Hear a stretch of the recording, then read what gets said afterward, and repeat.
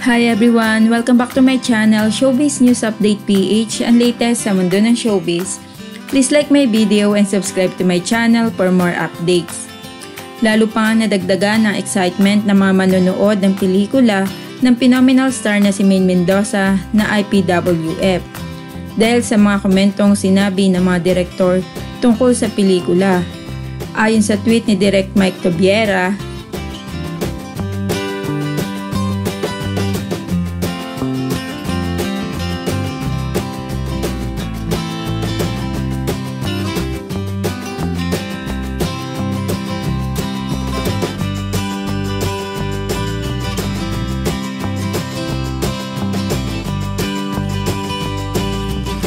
Ayon naman kay Direk Chris Martinez,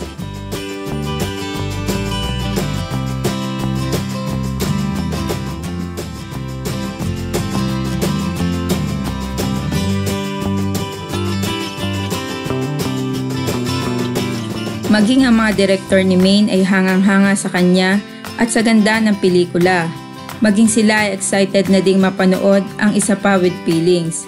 Milyon-milyon ang nag-aabang sa opening ng pelikula. Lahat ay gustong makaunang manood sa kanyang pelikula dahil sa magandang teaser nito. Kaya nga agad ay nagtrending ito kahit pa nga teaser pa lang ang pinapalabas.